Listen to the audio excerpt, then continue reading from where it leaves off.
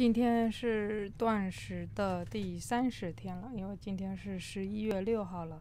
那三十天的话，这个，对啊，你看已经这么长了，一嗯，已经超过了我过往两年的断食的时长。但目前来说的话，其实是断食时间越长呢，就是你的感受也就。越没有那么强的感受，况且我这周二开始还在做菜了，但不是给自己吃，是给别人吃。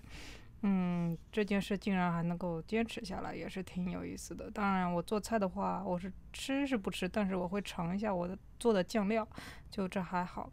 嗯，像我在昨天的视频里，我也给大家展示我是怎么做菜的，就还是是用一个炒菜机器做，然后是没有油烟。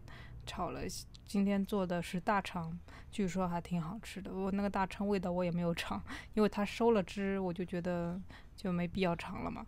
嗯，那今天早上称体重呢是四十五点五，比昨天是轻了零点六斤。那明天再看了。